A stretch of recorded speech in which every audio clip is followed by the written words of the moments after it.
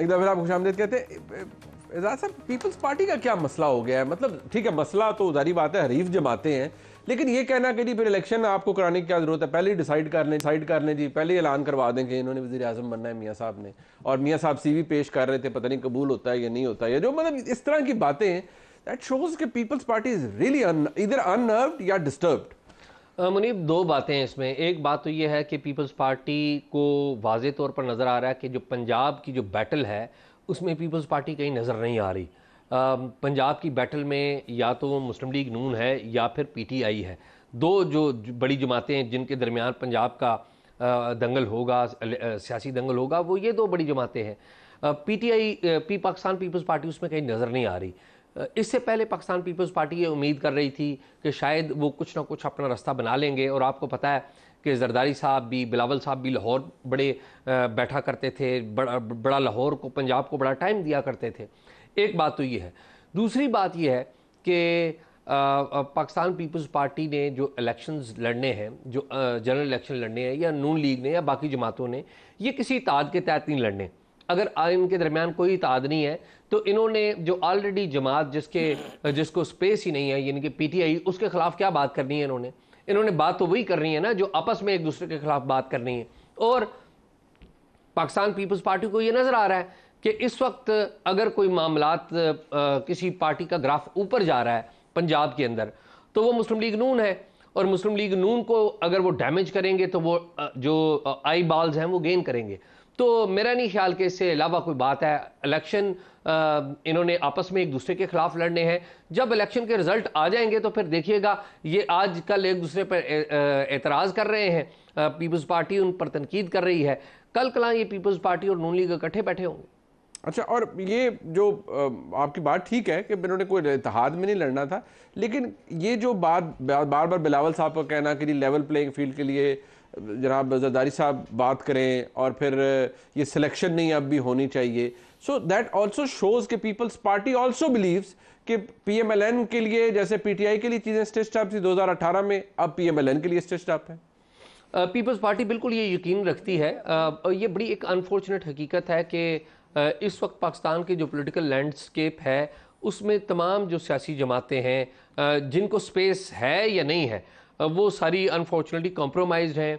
चाहे Pakistan peoples party की बात करें वो भी एक ही दर दर से दस्ते शफकत लेना चाहती है। चाहे मुस्लिम लीग नून की बात करें चाहे किसी और जमात की बात करें अब मुकाबला असल में ये हो गया है कि सारी जो जमातें हैं वो इस दौड़ में हैं कि हम अपने साथी से ज़्यादा बेहतर हैं। हम्म। तो ये बेसिकली वो कंपटीशन है। हमारा सीवी ज़्यादा अच्छा है। हमारा सीवी ज़्यादा अच्छा है। हम्म। तो ये बड़ी अनफॉर्चुनेट है। पाकिस्तान पीपल्स पार्टी का बड़ा एक माजी रहा है। लेकिन अनफॉर्चुनेटली मैं कहूँगा कि मुस्लिम लीग नून के ऊपर तो इस्टेब्लिशमेंट का आ, आपको पता बड़ा इल्ज़ाम ही रहा है और और दुरुस्त भी रहा है। Deal hmm. होती रही डील के तहत चीज़ें नहीं अब भी डील है। तो ये अनफॉर्चुनेटली इस वक्त जो सूरत हाल है वो पीपल्स पार्टी की बड़ी बड़ी भी बड़ी अच्छी नहीं है हम्म। आप देखिए कि कराची में जिस तरीके से जो लोकल गवर्नमेंट के इलेक्शन में मुर्तज़ा वहाब साहब बने जिस तरह के आपको पता है काफ़ी सारे कैंडिडेट गायब हो गए थे तो ये क्या था सब कुछ हम्म। तो अनफॉर्चुनेट बात है कि ये जो सियासी जमातें ये आपस में एक दूसरे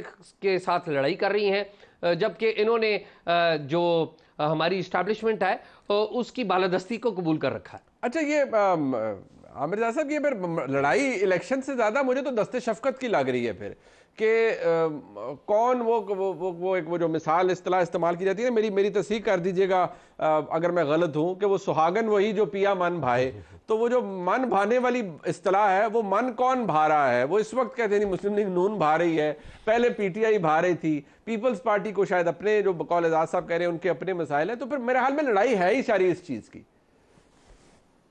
जी, मुनीब साहब, मैं बिल्कुल आपकी इस बात से इतफाक़ करूँगा कि हमारी हर जो बड़ी सियासी जमात है, उसकी ख्वाहिश यही है कि जनाब मतलब आवाम से ज़्यादा उनकी जो है ना आवाम को तो एक आप सिर्फ़ एज अ, कहते हैं, बफर के तौर पर इस्तेमाल किया जाता है कि ठीक है, इलेक्शन होंगे और फला होगा, लेकिन असल चीज़ ये कि जी, कौन मंजूर नज़र होता है? तो और मंजूर नज़र जो हमने देखा है, वो बदलते रहते हैं यहाँ पर। अच्छा उसकी भी ज़ाहिर के जो इफ्तार भाई हो सकता है, नाराज़ हो, लेकिन हमारे यहाँ जो जमहूरीत का मसला है कि खुद इन पोलिटिकल पार्टीज़ में जमहूरीत नहीं है ये खुद डायनेस्टिक पॉलिटिक्स का शिकार हैं। इनका खुद रवैया जो है वो जमहूर कुश है जब अवाम दुश्मन रवैया है। उसमें आप इनसे तो करें कि ये कोई ऐसी सियासत करेंगे कि या इनके इशूज़ वो होंगे जो आवाम की भलाई के लिए वो आपको नज़र नहीं आते। आपको पार्लियामेंट जो थी पिछली उसमें जो कानून साजी हुई कहाँ पर अवाम रिफ्लेक्ट हो रहे थे? कहाँ आवाम के लिए जो कानून साजी हो रही थी? कानून साजी चंद ख़ानदानों और अफराद के लिए हो रही थी ये हमने ज़रूर देखा। कि नए लॉज में तरामीम कर दी गई, फला काम कर दिया गया। तो ये बदकस्मती है और यही इस वक्त बुनियादी लड़ाई भी होनी चाहिए कि जनाब, के असल जो है ना, कि जो भी सियासी जमात है, वो अगर अवाम की उमंगों, अवाम के मसाइल का अगर वो हल नहीं पेश करती, उसके साथ चलने के लिए तैयार नहीं है। यकीन मैं उन लोगों में से हूँ जो समझते हैं कि जी, सिविल और जो नवाज़ शरीफ साहब भी बात कर रहे थे कि इस्टेब्लिशमेंट को मिलकर चलना चाहिए। अगर मुल्क को आगे चलना है बिल्कुल कन्फ्रंट्रेशन नहीं होनी चाहिए। लेकिन साथ साथ कुछ इनका भी तो रोल है ना पॉलिटिकल पार्टीज़ का कि दयानत से अमानत से चलें और ये अवाम पे भरोसा करें। हम्म। अपने प्रोग्राम अब कल उनकी तकरीर ज़ोरदार थी। सब लोग ताली बजा रहे हैं। उन्होंने दावे भी किए कि मैं जनाब यूँ यूँ बदलूँगा डॉलर की कीमत जो है वो रुपया मज़बूत होगा इन्फ्लेशन कम होगी। लेकिन रोड मैप भी तो बताएँ ना ये मुद्दा कैसे होगा? ये हम्म। जब पाकिस्तान के पास फ़िज़िकल स्पेस नहीं है तो आप कैसे कर्जे उतारेंगे तो आप वो कहते हैं अफरीद जो होता है वो तफसील में छुपा होता है डेविल लाइज इन डिटेल तो डिटेल में तो जाते ही नहीं हमारे हम्म। सियासतदान नारों में बात करते हैं नारों की तशरी करते नहीं है वरना सियासी कारकुन का ये काम भी होता है जब आप नारा देते हैं तो उस नारे की तशरी करते हैं बताते हैं कि हमें इस मुल्क को कैसे आगे लेके जाना है। तो हमारे यहाँ दावे ही दावे जिस तरह वो पिछली हुकूमत किया करती थी कि हम ये कर देंगे वो कर देंगे लेकिन होता नहीं था क्योंकि उसके पीछे ठोस काम नहीं किया हुए लोगों ने। और कल भी आप देखिए ना कि जो। मेन फ्रेम बन रहा था माशाल्लाह शहबाज शरीफ साहब थे हमजा थे मरियम साहिबा थी वो चार लोग थे। तो वो डायनेस्टिक पॉलिटिक्स और ज़्यादा आपको लगता था कि मज़बूत होकर सामने आ रही है। यही हालत पीपल्स पार्टी की भी है हम्म। और यही हालत मतलब है माशाल्लाह जे यू आई एफ़ की भी है ए एन पी की भी है। कहाँ है कारकुन? अंदर इलेक्शन क्यों नहीं होता? क्या किस जमहूरियत की बात करें हम लोग? तो ये मेरे ख्याल में बुनियादी अच्छा जी। अच्छा मैं इफ्तार साहब मुझे पता है सर आपको इस पर रिस्पॉन्ड ज़रूर करना चाह रहे हैं वो भी कीजिएगा लेकिन मुझे ज़रा ये भी बता दें कि रोड मैप की बात की अभी आमिर जा साहब ने कि ये बात शहबाज साहब पहले फरमा चुके थे कि मियाँ साहब आएँगे जी रोड मैप भी वो देंगे। तो क्या एक तकरीर से हमें रोड मैप कल उनको कुछ ना कुछ बताना चाहिए था? उस पर हवाले से इकोनॉमिक टर्न अराउंड कैसे होगा? और दूसरी बात इफ्तार साहब, आप तो खुद दाई रहे हैं, बल्कि आपको मैंने हर जगह देखा, आप एडवोकेट करते हैं कि भाई इस मुल्क में जो बलदियाती इंतबात हैं, वो होने चाहिए जमहूरीत की जमहूरियत जन्म वहाँ से लेती है, वहाँ हमारी सियासी जमातों की जो रवैया है, वो आपके सामने है। तो फिर यही होगा ना पावर पॉलिटिक्स में कि कौन करीब है इस्टेब्लिशमेंट के, ताकि उसका रास्ता ज़रा हमवार हो जाए, और वो इकतदार में आ जाए। है जी, बात यह है सिंपल सी कि मैं तो इतना जानता हूँ कि पहले बात तो है कि कहा गया कि असम्बली में आवाम के लिए कानून साजी नहीं होती। बड़ी अच्छी बात है।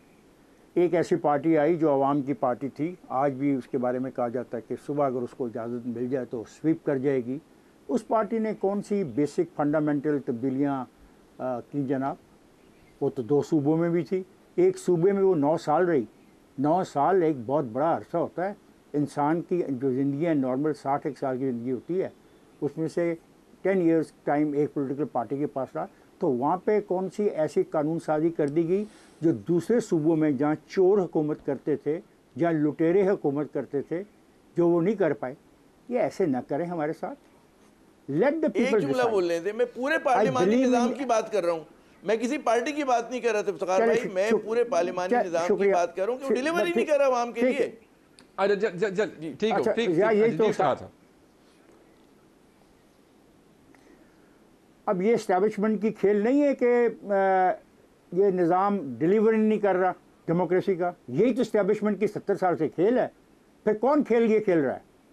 हम तो खड़े हैं पार्लियामेंट के साथ पार्लियामेंट बनाने वालों के साथ पाकिस्तान के वोटर्स के साथ, पाकिस्तान के निज़ाम के साथ, जिसमें लोग जाके वोट डालते हैं। मैं तो उसको सपोर्ट करूँगा और हमेशा किया है और आइंदा भी करूँगा। उसमें खामियाँ हैं, उसमें ख़राबियाँ हैं। अगर उनको वक्त दिया जाए तो वो बेहतर कर सकते हैं। और ये बात बड़ी अच्छी मुनीब ने याद कराई कि आई बिलीव कि local body system is required मुकामी हुकूमतें पाकिस्तान के आवाम के मसाइल को हल करने के लिए ज़्यादा रोल प्ले कर सकती हैं। नस्बता कौमी असम्बली की या सूबाई असम्बली के या सैनट के।